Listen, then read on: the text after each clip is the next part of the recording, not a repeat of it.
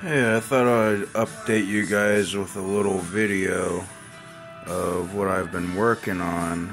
This is uh, this is actually the keep, which I call Havensford. There's the Ox Temple, since uh, humans in my world worship uh, animal-like gods.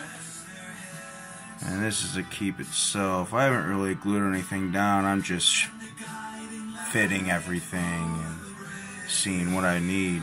I added all of the keep buildings and I had all this extra room, so I think I'm gonna add like a Circus Maximus and a Colosseum.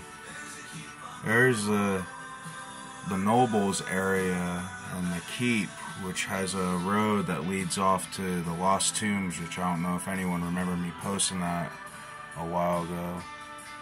And here's the Lizardmen area, which is just like uh, kind of made it way too big, so it's it's a Dragon Kingdom now.